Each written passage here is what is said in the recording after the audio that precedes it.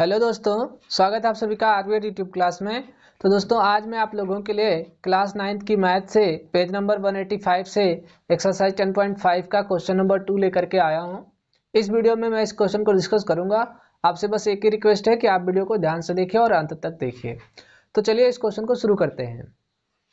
इस क्वेश्चन में हमसे बोला गया है a chord of a circle is equal to the radius of the circle find the angle subtended by the chord at a point on the minor arc and also at a point on the major arc. ठीक है?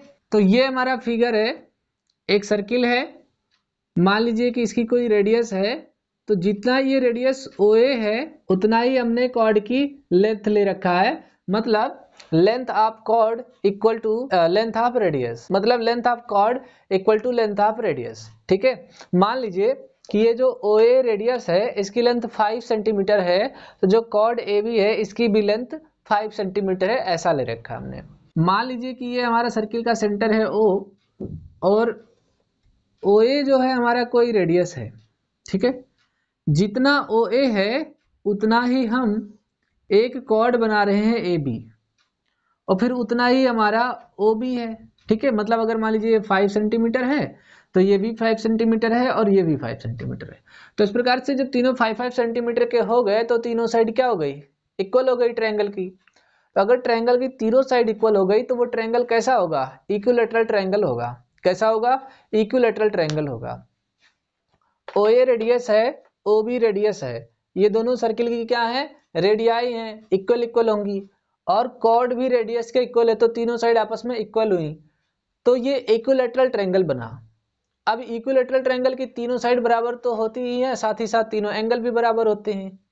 मतलब ये ये ये 60 60 degree बनेंगे, ठीक है? तो चलिए फिर ट्रायंगल में इक्विलेटरल प्रॉपर्टी को लगाते हैं। Solution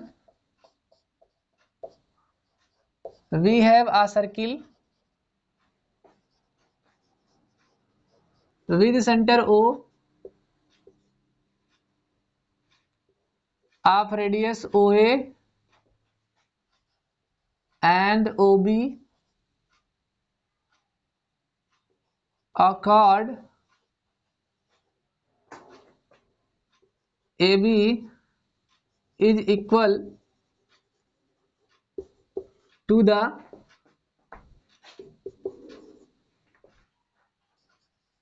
radius of the circle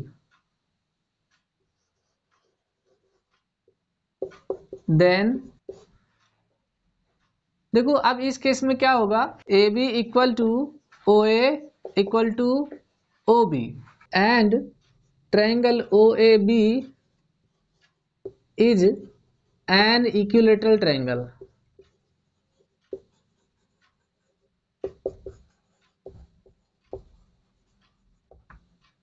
ठीक है? तो अब ये इक्विलेटरल ट्रायंगल हो गया। तो जो हमारा एंगल बनेगा ये वाला वो 60 डिग्री बनेगा। So angle A O B is equal to 60 degree. तो देखो, अगर सेंटर पर 60 डिग्री का एंगल बन रहा है तो सर्किल के रिमेनिंग पार्ट पर जो एंगल बनेगा, वो सेंटर पर बनने वाले एंगल का हाफ़ होगा। तो यहाँ पर लगाएँगे by using theorem 10.8 we have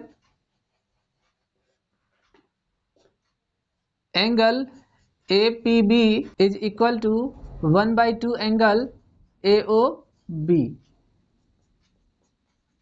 angle A O B की वैल्यू 60 डिग्री है, इसको कट कर देंगे तो हमारे पास आ जाएगा 30 degree means angle A P B is equal to 30 degree एक आंसर तो हमें मिल गया एंगल पी पता हो गया, लेकिन अभी हमें ये वाला एंगल भी फाइंड करना है। क्योंकि इन्होंने कहा था कि आप देखो मेजर आर्क पर बनने वाला एंगल फाइंड करो और माइनर आर्क पर बनने वाला एंगल फाइंड करो। तो मेजर आर्क वाला तो आ गया है, अभी माइनर आर्क वाला बाकी है। तो इतना आप राइट कर लीजिए या फिर वीडियो को पॉज करके स्क्रीनशॉट ले लीजिए, फिर आगे सॉल्व करेंगे। अब यहाँ तक हमने सॉल्व कर लिया था, लेकिन यहाँ से कहानी आगे थोड़ा बदल जाएगी। Quadrilateral APBQ is a cyclic quadrilateral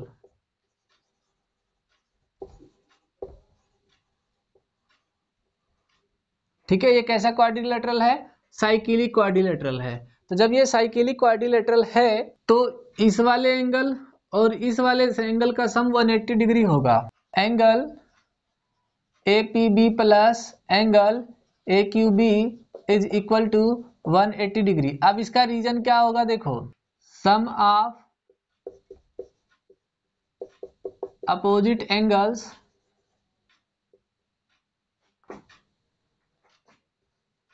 of a cyclic quadrilateral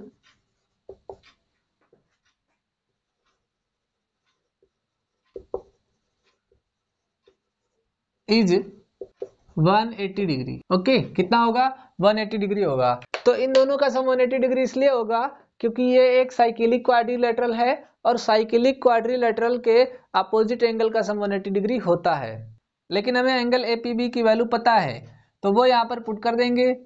Angle A P B is equal to thirty degree plus angle A Q B is equal to one eighty degree इसको उधर भेजेंगे तो माइनस हो जाएगा।